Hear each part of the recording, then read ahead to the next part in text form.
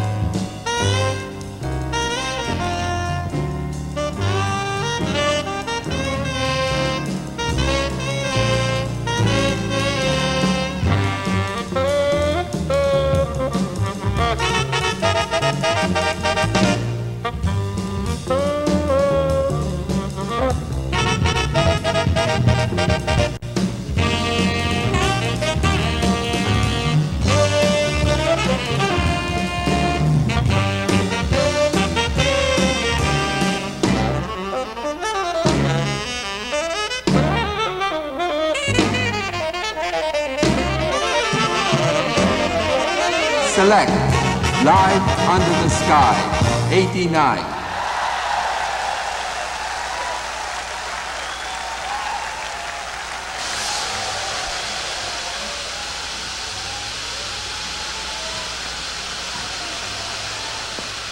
この番組はあなたにジョイフルタイム JT の提供でお送りします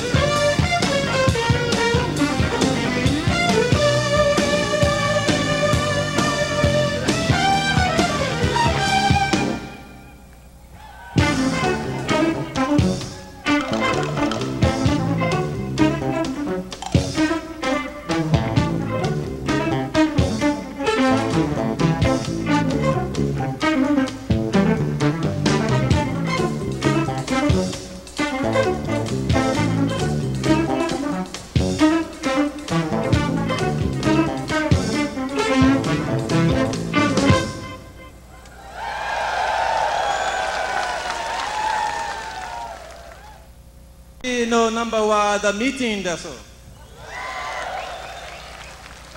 それではそろそろノリノリで行ってみようか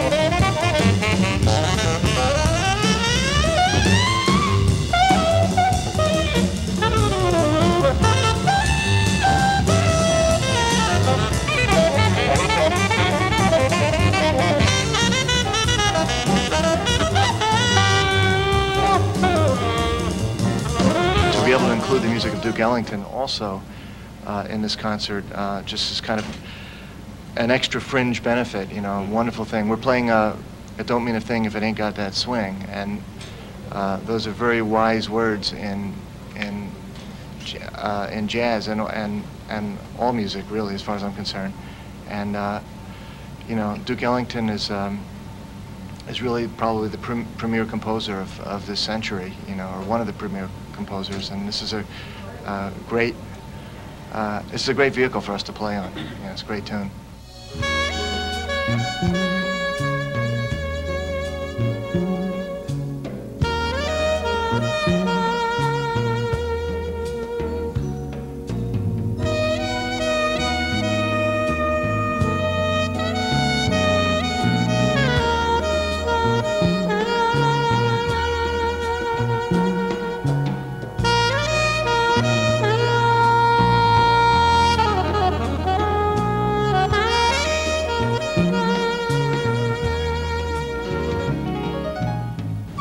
First experience seeing Duke Ellington's band, I was in New York, and Duke Ellington's band was playing in Newark, New Jersey, concert, in a dance hall.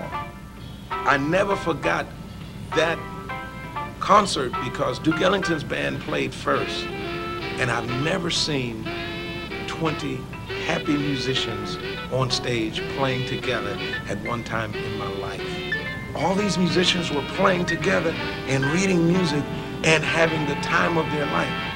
And I remembered those elements along with just the aura that Duke Ellington had. Duke Ellington wasn't, for example, Cab Calloway, who's a very, very emotionally and, and energetic and moves around.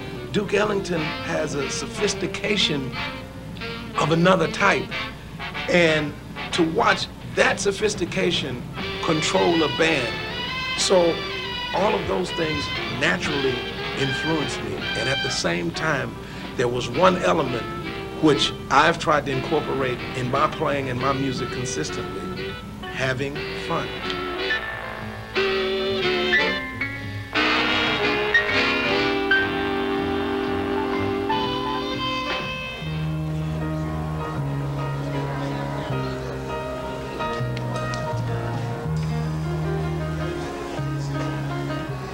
Well, uh, Duke Ellington was one of the great composers of the 20th century. And uh, if you play his music correctly and study it and play the notes as they were written, you'll find there's a lot of beauty there and that there's a lot of happiness in it. I mean, I feel happy every time we play it. Composer, he was our Bach and he was our Shakespeare and he was our Rembrandt. It's a necessary step in learning, uh, especially when you're learning about jazz music, you have to learn Duke Ellington. This is where it all came from. You know, he's one of the greatest composers that ever lived. Uh, not just in jazz, but in, in Western music and in music anywhere in the world.